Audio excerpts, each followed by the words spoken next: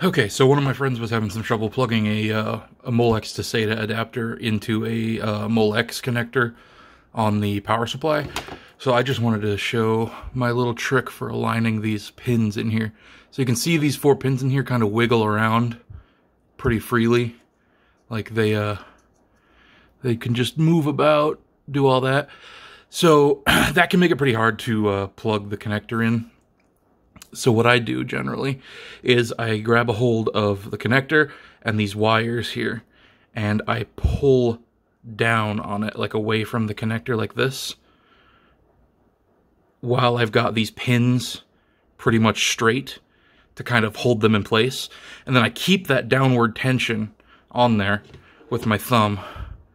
And then I grab the Molex connector and I kind of line it up in one edge like this and then I just kind of wiggle and push.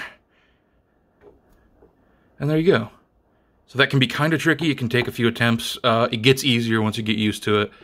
But uh, yeah that's pretty much all you need to know about the uh, the finickiness of the pins on Molex connectors